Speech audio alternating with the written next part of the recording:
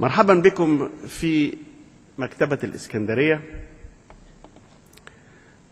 ويسعدنا أن يكون معنا هذا الجمع الغفير وهذا الجمهور العريض في لقاء أردنا به تخليد ذكرى شيخ المعماريين المصريين الراحل الرائد حسن فتحي.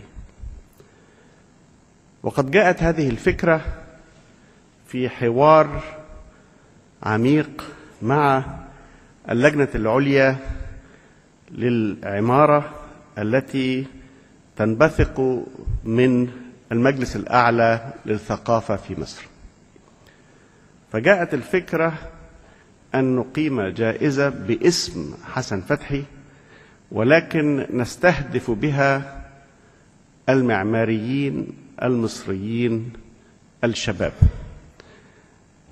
أو على الأقل الذين لم تتمكن بعض مشروعاتهم بعد من الحصول على التقدير الكافي على الساحة الدولية. وطلب منا أن ننسق ذلك بفكر جديد. فتمكنا أن نطرح اقتراح لأنها ليست مسابقة. ولكنها اقتراح ودعوة لتقديم مشروع مشروعات قد تم تنفيذها بالفعل. مشروعات على أرض مصر ومشروعات لم تفز بعد بجوائز دولية أو باعتراف دولي.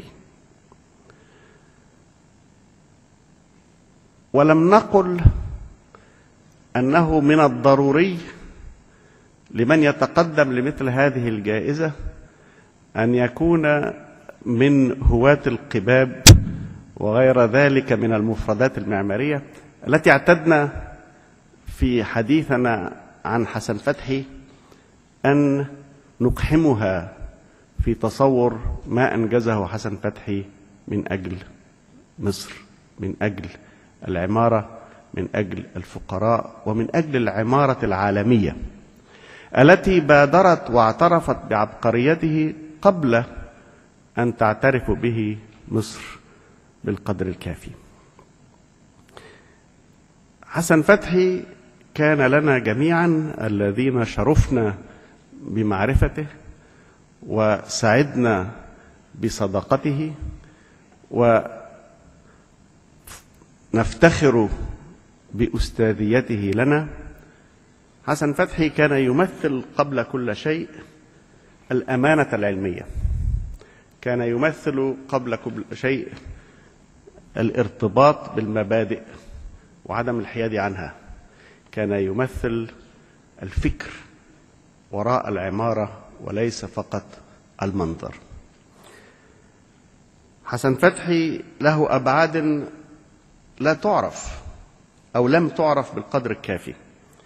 منها اهتمامه الكبير بالتقييم العلمي. منها أنه لما هاجم العمائر بالخرسانة المسلحة كان يهاجم نوعا من العمارة يهدر كرامة الإنسان وتفرد ذلك الإنسان بما يجب أن يكون من حقه في الحياة. ولكن حسن فتحي نفسه أقام تجارب استعمل فيها الخرسانة المسلحة وال prestressed concrete وله دراسات علمية حول أنواع من البناء في مصر وقال دائما أنه يجب أن نحتكم إلى العلم ونحتكم إلى القياس. فإذا كانت هذه المواد وهذه الطريقة في البناء ليست هي المثلى فلنا أن نتركها لغيرها. ولكنه كان يحذر أمثالي من الأشبال. حينما كنا نجلس إليه في شرفته بالقلعة لنحتسي الشاي ونستمع إلى حديثه أحيانا عن الموسيقى أحيانا عن العمارة الفرعونية أو القدماء المصريين أحيانا عن الفلسفة الإسلامية في البناء والعمارة أحيانا عن الاهتمام بالفقراء أيا كان الموضوع. فكان يحذرنا دائما قائلا لا يأخذكم الغرور ولا تقولوا أن هذا يمثل الفكر المعماري الحديث فلي أن أطبقه هنا وأترك ما قام أهل هذه البقاع بتصميمه عبر القرون. لأن في هذا الغرور شيء هام هو رفض تجربة إنسانية لمجتمع تفاعل مع البيئة والمكان تفاعل مع المواد تفاعل مع الوضع الاقتصادي الحقيقي لهذا المكان فصاغ لغة معمارية مناسبة لهذا المكان. فمن أراد منكم أن يترك هذا التراث ويستورد الجديد عليه أمرين.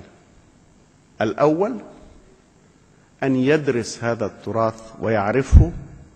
قبل أن يلفظه. وثانيا أن يتأكد بالعلم والقياس أن هذا الجديد المستورد أفضل من التراث الملفوظ.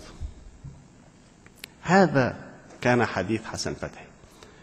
وللأسف ضاعت بعض هذه الأبعاد فيما رسمته عنه وسائل الإعلام وخصوصا بعد وفاته. فقررنا في تخليد ذكرى حسن فتحي أن نقيم جائزة للعمارة. كما قلت تستهدف عمل معماري قام به مهندس مصري على أرض مصر وعمل معماري لم ينل بعد جائزة دولية. ولكن سرعان ما قابلتنا مشاكل أخرى. فإن التحدي المعماري كبير والفكر المعماري واسع وفكر حسن فتحي بصفة خاصة كما أسلفت كان فكرا ثريا غنيا واسعا متدفقا. فقررنا أن نتقدم بالجائزة ونحدد موضوع أولي لنقيم من وجهة نظره المشروعات المطروحة أمامنا واخترنا للموضوع الأول للجائزة الهوية الهوية في العمارة المصرية المعاصرة. ولا نقول في العمارة التراثية ولكن نقول العمارة المعمارية المعاصرة إيمانا منا بأن لنا من الموضوعات ما سيطرح فرص أخرى لمبادرات أخرى فيما بعد. ولكننا أردنا كذلك ألا يكون هذا العمل مجرد جائزة تمنح وتنسى. فأردنا أن تقترن بمؤتمر دولي عن حسن فتحي وعمارته.